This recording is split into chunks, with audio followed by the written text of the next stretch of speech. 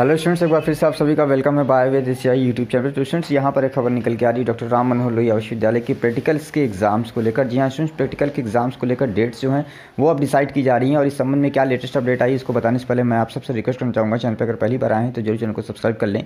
Bell notification को भी on कर लें। वीडियो अच्छी लगे, वीडियो को लाइक करते हैं। किसी तरह का कोई भी क्वेश्चन हो तो आप सभी लोग कमेंट करिए, मैं आप सभी के कमेंट पर रिप्लाई भी देने का प्रयास करूँगा। तो स्टूडेंट्स अगर बात की जाए डॉक्टर राम मनोहर लोहिया विश्वविद्यालय की प्रैक्टिकल्स की परीक्षाओं को लेकर तो स्टूडेंट जैसे कि आप सबको पता है कि समय होली का पर्व नज़दीक आ रहा है और होली के पर्व के बाद आप सभी के जो प्रैक्टिकल्स के एग्ज़ाम है, उसको लेकर तिथियाँ यहाँ पर निर्धारित की जाएँगी।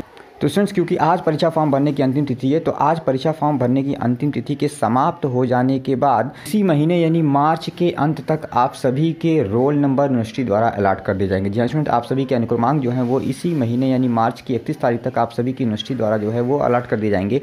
और जिसके बाद आप सभी के जो प्रैक्टिकल्स की डेट है, उसको जारी किया जाएगा। तो स्टूडेंट्स आप सभी के रोल नंबर अलाट हो जाने के बाद अगले माह, यानी अप्रैल के प्रथम सप्ताह में आप सभी के प्रैक्टिकल्स के एग्ज़ाम होने चालू हो जाएँगे। तो स्टूडेंट संबंध में आप बहुत ही जल्द आप सभी के कॉलेज द्वारा आप सबको नोटिस दिया जाएगा।